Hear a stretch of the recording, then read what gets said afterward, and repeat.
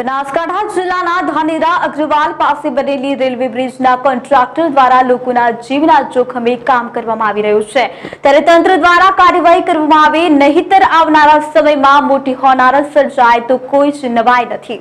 છેલ્લા બે વર્ષ જેટલા સમયથી ધાનેરામાં રેલવે બ્રિજ બનાવવાનું કામ ચાલી રહ્યું છે અને આ કામ ગોકળ ગાયની ગતિએ ચાલી રહ્યું છે.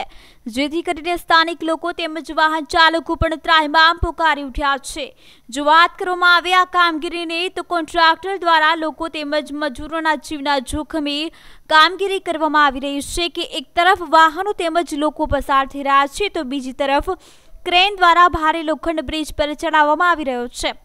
લોકોની અવરજવર તેમજ વાહનો પર કદાચ આ લોખંડ પડે તો મોટી હોનારત સર્જાય તેવી શક્યતાઓ સેવાઈ રહી છે.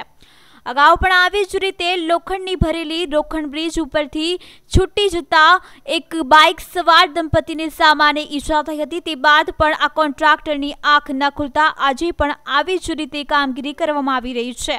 તાનેરા સ્થાનિક તંત્ર તેમજ લાગતા વળગતા અધિકારીઓ આ બાબતે પૂરતું ધ્યાન આપે નહીતર આવનારા સમયમાં મોટી જાનહાનિ સર્જાય તો પણ કોઈ નવાઈની વાત નથી. સુરેશ કલ્ચર અને ગુજરાત ન્યૂઝ, બનાસકાંઠા.